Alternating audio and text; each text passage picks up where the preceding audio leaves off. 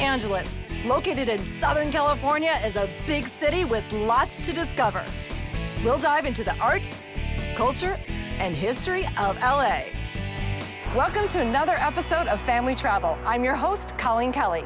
Get ready, because we're going to explore Los Angeles beyond Hollywood and the beach. On this vacation, we'll discover that you can do more than just shop at some stores. We'll find art outside and check out some cool cars. Then we'll discover a new type of ATM and uncover some facts about fossils.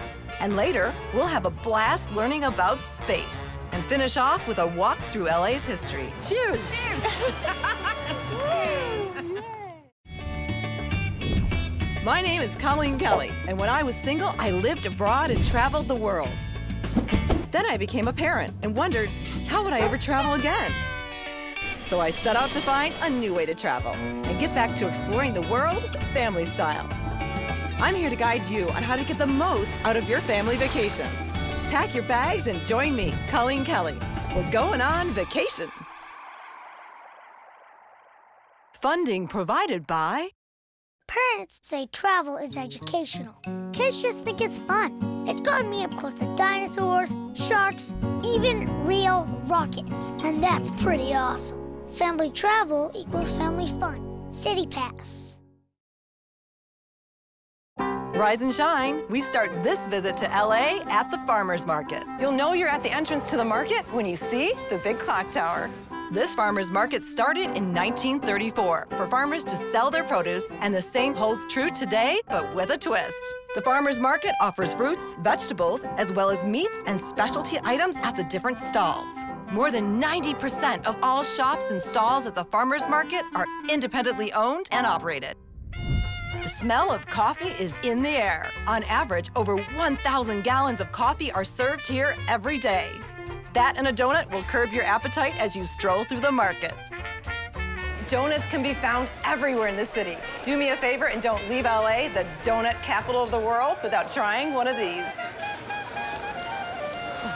Shopping is always more fun with friends. The Wonderlook family met me at the farmer's market. You want to go see the market? Yes, definitely. All right, let's go. Ready, kids? Come on. If the kids are on their best behavior, they might even earn themselves a stop at a couple of kid-friendly stores. First stop, the sticker store, where I have a few tricks up my sleeve. Shopping can also be a teaching opportunity. We are going to try and find five stickers with three different shapes. Circle, square, and star. We're gonna play the sticker shape game. And what we're gonna do is we're gonna find a star, a square, and a circle somewhere in this whole sticker shop. Can you find one? Do you think so? Do you think you can find one? Okay, three. Ready? Go. Did you find a circle? Let's see. Show me. Let's see what you found. That is a you circle. found a circle. Yeah, you found a star. There. Oh, good. You name our three shapes. Star, square, and circle. Did you find all three? Yes. Did you find all three? All right, let's do an art project. Are you ready? Let's go do it. Now it's time to put our stickers to good use and make our very own placemat souvenir. We're done decorating. We can take our placemat back inside where we add our name and have it laminated. With D for Preston. Okay. Yeah. Can you spell your name for me so I can give you the letters? Uh, R, there you go. So we're gonna take this placemat that you made and we're gonna put it in this pouch and we're gonna laminate it. Okay. There's your placemat. What do you think?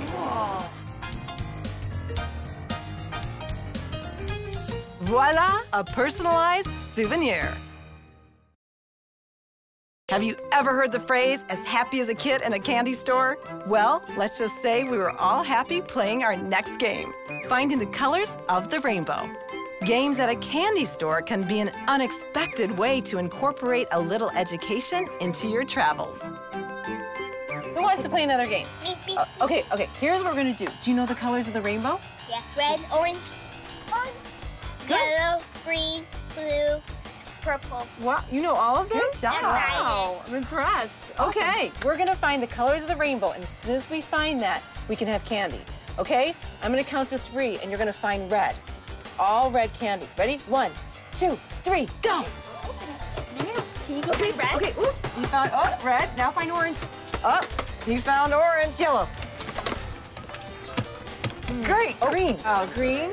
Press them. look over here. Blue. We need blue. Oh, that's blue. and one more. What's Okay, now we need one more color. What's the last color of the rainbow?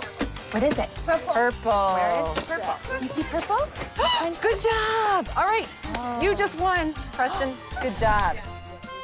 After the game, it was time to dig in. Letting the kids use the tongs to get the candy into their bags is a good way to practice small motor skills. Go ahead. Okay, ready to check out. How much do you think that weighs, Preston? One pound or two pounds? Uh, a lot of pounds. A lot of, yeah, I think yours weighs a lot of pounds. It weighs 0.24 of a pound. Wow, that's a lot of candy. Yours weighs 0.55. That's a lot. of That's over a half pound. Wow. Nothing better than the sweet taste of victory.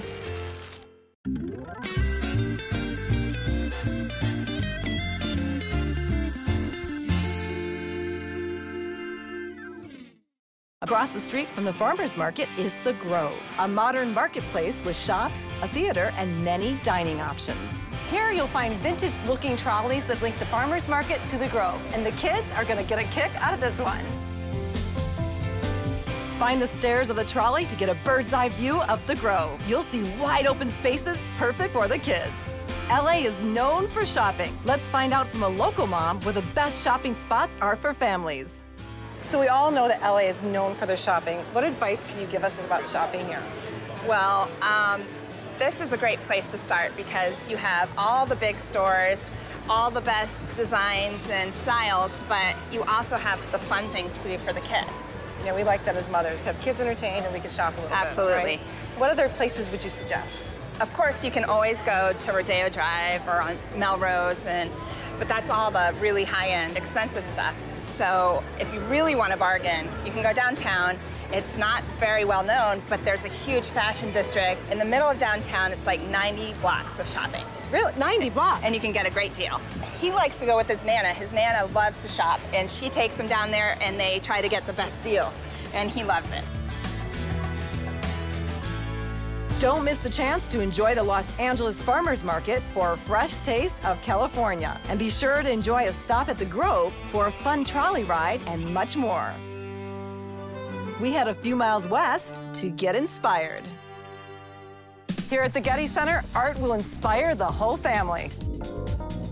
The Getty Museum houses paintings, drawings, sculptures, manuscripts, and photographs.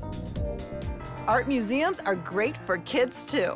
And the family room at the Getty is the perfect place to start. The family room is bursting with things to do. It's a great place to learn and explore. Maybe you'll notice some resemblance to the gallery pieces. The art expands outside.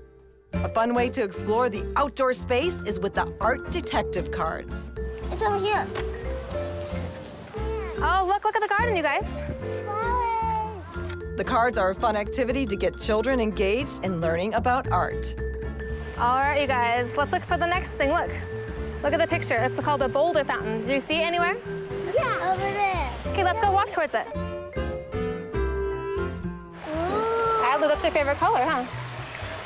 It's it weird blue. They're purple. Blue. Purple. There's a whole bunch of them. They're all over. It's. Scotty, what color are those flowers? Yellow. Adley, what color are they? Purple. Purple. Purple. Purple. No, they're pink. I and think they're pink. If you want to jumpstart your family's love of art, make sure to stop off at the Getty Center. LA is not only known for art lovers, but for car enthusiasts too. Let's head southeast to spend an afternoon in automotive paradise. From Hot Wheels to hot rods, you'll find it all at the Petersen Automotive Museum. The museum has two floors of world-class automobiles. On the first and second floor, Hollywood star cars, historic vehicles, and alternative fuel cars fill the space. On the third floor is the Discovery Center, a hands-on experience where kids can sit in cars, play with toys, and learn about car mechanics. There is even a place to race.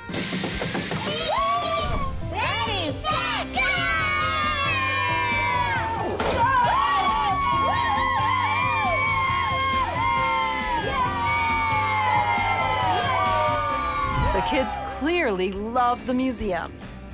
Clayton Drescher explains what makes it so unique. So I've been to a, a lot of other automotive museums, but why is this so unique?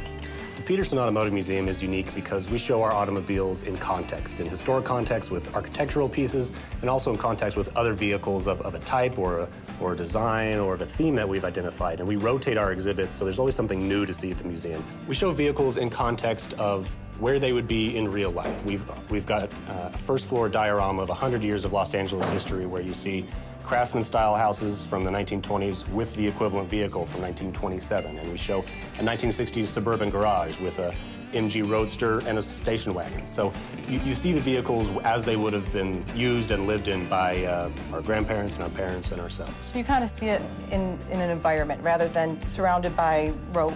You know, it's Correct. just how they used to live. That's right. That's really cool. I've never seen that before. We like to show things that you expect to see and then something new. So there's always uh, a, a reason to come visit the Petersen. Gearheads of all ages will have a blast at the Petersen Automotive Museum. While the kids enjoyed all the interactive displays, I chatted with the Cardinal family. So you're a family of car lovers. What do you think of this museum? I think it's great. Growing up building cars with my parents, doing it with my kids, I think it's a great tradition to come here and, and have fun together. As a mom, Yeah, definitely. We spend a lot of time going to car shows where people have put a lot of money into vehicles that they cannot touch. And, um, you know, it's something that he enjoys going to. And so there's the, the floors where, you know, he can go see the car show vehicles. But then we have these floors up here where the kids can come and, and get their hands involved and have the learning experience where they can see how everything works, but they're allowed to touch it. yeah, it's always good that you can touch it. But it's great for moms and dads too because you got the first two floors where you can see these beautiful vehicles from all these different eras, and you know you don't want to touch those. But you can come up to the third floor and the kids can run around and touch everything. So it's kind of like a little reward at the end. Yes. Well, I think it's great that you're a family and you love cars and you do this together. If your family appreciates cars as much as this one does, you'll want to drive down to the Petersen Automotive Museum.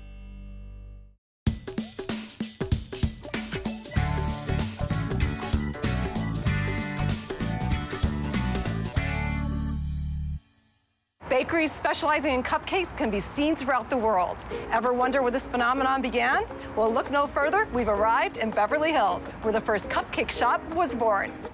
Kids love cupcakes, and making them as a family is a fun activity. Doing things by hand sets these cupcakes apart, so we get a lesson on how to frost the perfect cupcake, and the kids won't even realize they are gaining important skills. A local family from Los Angeles County helped me in making some treats. We set the kids up with small utensils and bowls of frosting so they could practice their small motor skills. Want to give it a try? Yeah. Sounds All good, right. guys. Let's take a cake. Perfect. Oh my goodness. Dad, because There you go, Spencer. yes, he does. He, he makes a lot with the kids. The simple act of frosting a cupcake incorporates hand-eye coordination. Smush it around, smush, smush, smush. Get it nice, and then you're gonna cover all the sides. While the kids decorated their cupcakes, the adults talked about how baking is a fun family tradition that involves a variety of skills. Do you think baking is a teaching experience? Yeah, absolutely. They, lo- they love it. They uh, love measuring and cups and tablespoons and teaspoons and figuring it all out. Absolutely. And bonding as a family? Always. It's their favorite thing in the world to do, is bake. Yeah. And you're teaching them a lifelong thing, too. You want me to help you with the sprinkles? Okay. It's amazing how many people can't cook. So it's wonderful teaching them at a young age, you know, how to make their own food and, and, and what it takes. Who knew we would be teaching kids about technology at a cupcake shop? But that's just what we did next at the first ever cupcake ATM machine. Okay, this is so exciting. So how does this work? Okay, so it has all of the flavors that we offer here in the store. So tons of flavors to choose from. So you just come up here, you can scroll through and just pick whichever flavor that you'd like. Though we couldn't see the inner workings of the ATM machine, we learned that every day the cupcake machine is loaded with 600 cupcakes. Visitors can select a flavor and the machine is able to retrieve the correct treat. And then it's gonna dispose it right here. Technology is amazing. Now that's the way to get some dough from an ATM. About three miles from Sprinkles Cupcakes, you'll find our next sticky adventure.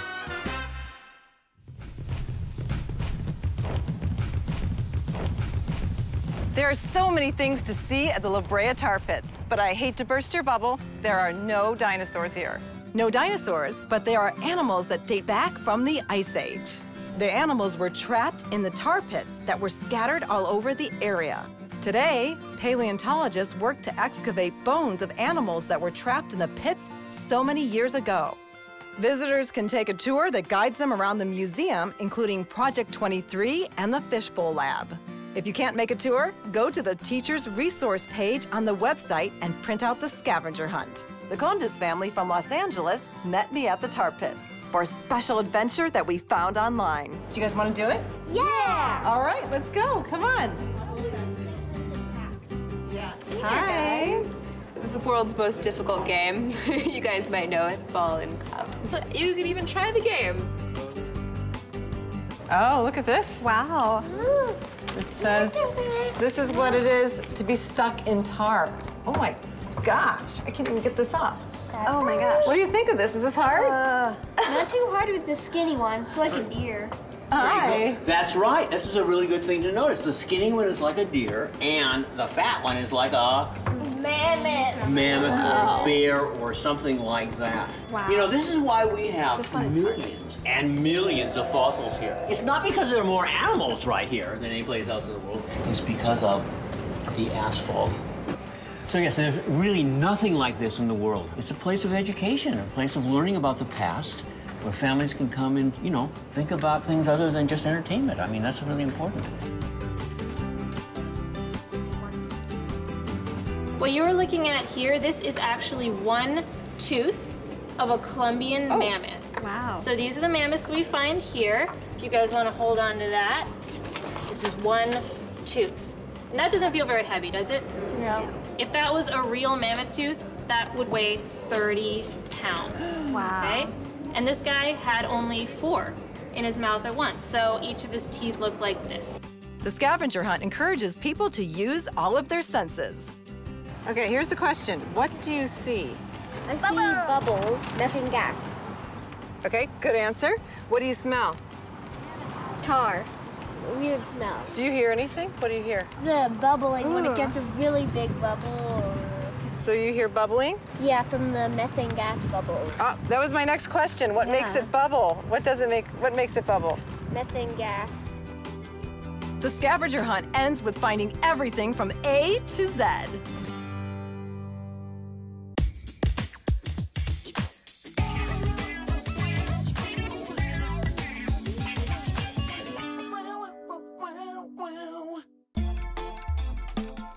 Blast off and watch your imagination soar as we head just south of downtown. Is it a bird? Is it a plane? No, it's the Space Shuttle Endeavour. And it's available for all to see at the California Science Center. Admission to the California Science Center is free. There are many exhibits for families, including the Ecosystems Gallery and the Family Discovery Room. The Cooper and Circle families join me for an out of this world experience in the Samuel Oschin Space Shuttle Endeavour Pavilion. After the Space Shuttle Endeavour completed its mission, it came back home to Los Angeles. While the families looked on at the displays, I got some insider info on the Endeavour. I'm here with Dr. Ken Phillips, and he was instrumental in bringing the Endeavour here. What was that like? It was an amazing experience. Yeah, it took a long time to happen, but when it unfolded, it was uh, it went very quickly. Finally, we moved it 12 miles through the streets of Los Angeles, from the airport to the science center. That, that was that was the most difficult of all the missions that it took. I'm sure. And, That's uh, amazing. It was amazing. Yeah. Why was it important for you to bring it here? It's important for the kids um, because it's a contemporary spacecraft. It's something that people recognize instantly. It's iconic. It changed the way America did business in space. It built the International Space Station. This actual spaceship flew 25 missions, every one of them quite different, all unique, and it managed to survive 25 launches and 25 re-entries into the atmosphere. Wow, now it's here. It's here. What was the original mission of the Endeavour? Uh, the first mission was the recovery of a wayward satellite. It had been launched into the wrong orbit. Why was it named Endeavour? It's a great question. It was named Endeavour because school children named it in a national contest. The oh. Space Shuttle and the Challenger carried the teacher, Christa McAuliffe. It was thought fitting that students should name the replacement vehicle for the Challenger, and this is the replacement vehicle, the Challenger. Though you can't touch the shuttle, you can see some of the original parts up close and personal. In addition to the Endeavour, visitors can check out the Space Hab, which was used as a workshop for the astronauts. So what was this, do you think, down there? I don't know. It might have been some kind of storage place or something, or maybe that is where they slept. And do you see the burn marks on there? Everybody always thinks it's going to be really shiny and pretty. This is what I learned. But it's not shiny and pretty because it went through the atmosphere. It and went through Which guys are you trying to 25 missions. Oh, That's right. And it and went through over, fire. And, and over 122, wait, uh, 122 million um, miles through space. Where'd you learn that? Uh, on the Oh, I'm impressed. Wow, Wow. that's really good. It was a privilege to visit the Space Shuttle Endeavour at the California Science Center, the perfect place to inspire everyone to learn more about science.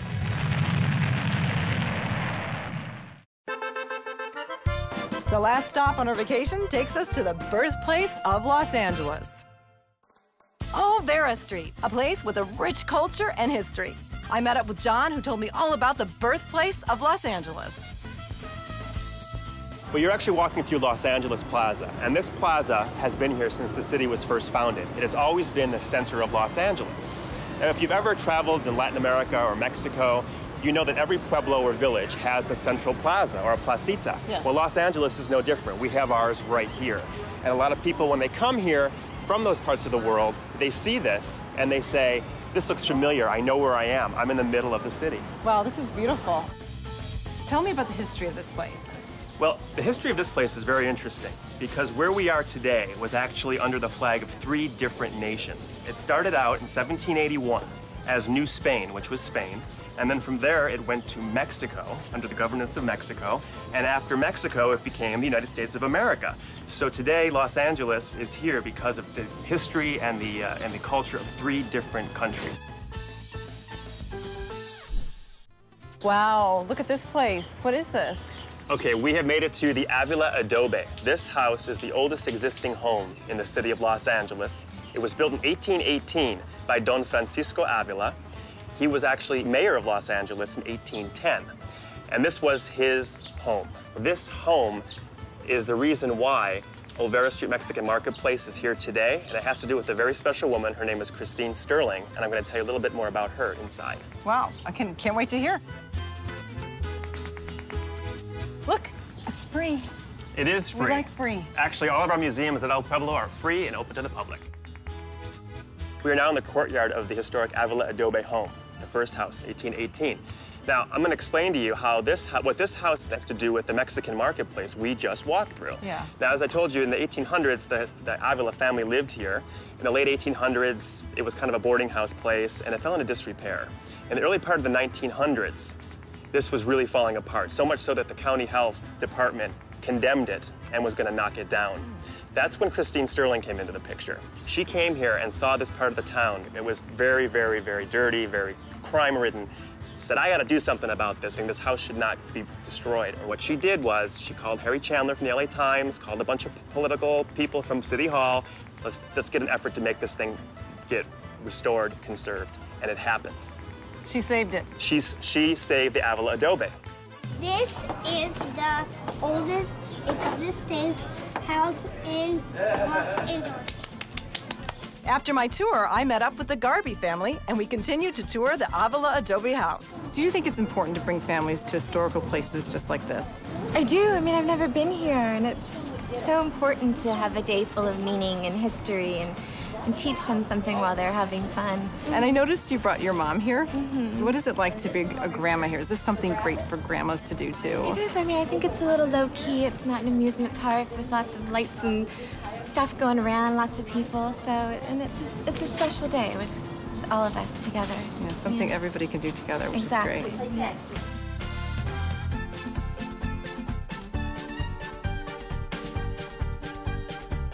After the Adobe House, we couldn't leave Olvera Street without trying some taquitos. The Mexican dish consists of a small rolled up tortilla with some type of filling, usually chicken, cheese, or beef. This is supposed to be the place where the taquito was born, so I'm hoping we can try it. Oh, You want to try so some? cool. Yeah, let's try it. Oliver, you want to try? Yeah. All right, come on up, Oliver. Let's order.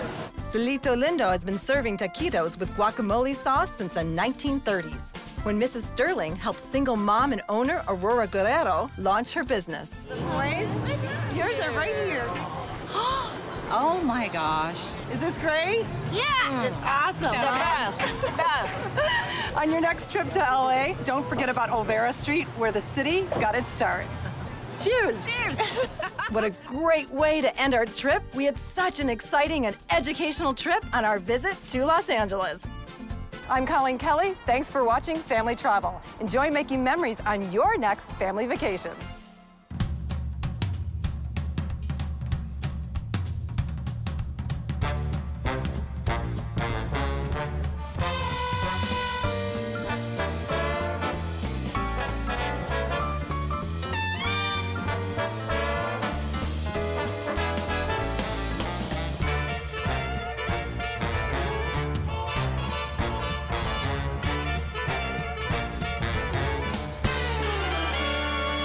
Funding provided by Kids think travel's all about fun, but parents know it broadens horizons, introduces kids to new cultures, and makes lasting memories. And that's pretty awesome.